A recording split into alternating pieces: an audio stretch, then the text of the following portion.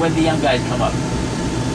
Oh, actually, yeah, that's a funny thing. When uh, you can pretty much always tell a young sound engineer coming up at a big festival, this mix is all kick drum. The kick drum is not the lead instrument. I don't know how many times I've seen this, and I'm sure a bunch of y'all have said the same thing.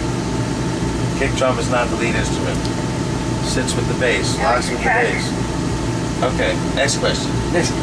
Well, and the, the other thing that makes, makes me crazy too is you'll see uh, they'll spend so much time crafting that kick drum sound Oh yeah. that now they don't have any time for anything else. Oh, it's hilarious. It's you done, sound check. You know, if they get a sound check, there's five minutes of kick drum. Right, and, and All you've right, got Sarah, seven. all right, Tom. Sorry.